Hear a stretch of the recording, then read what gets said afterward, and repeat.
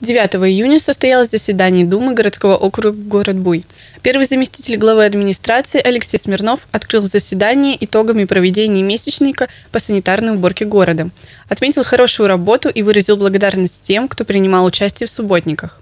Второй вопрос, рассмотренный на заседании о правоохранительной работе МО МВД России Буйский и взаимодействии с органами ТОС. Совершено 49 преступлений и пресечено более 400 административных правонарушений.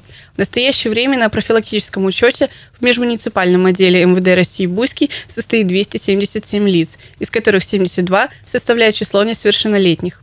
Сотрудниками участковых полномоченных на территории городского округа город Буй обслуживается 9 административных участков – первой половине 2022 года в ходе профилактических мероприятий по информации председателей ТОС были выявлены 13 административных правонарушений, в основном за нарушение регистрационного учета по месту пребывания.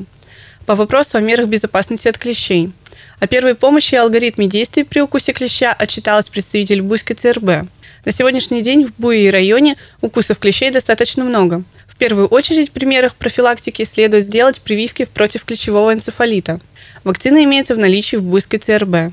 В Буе и районе всего пострадавших 200 человек. В городе 60 человек пострадавших, из них 16 – дети.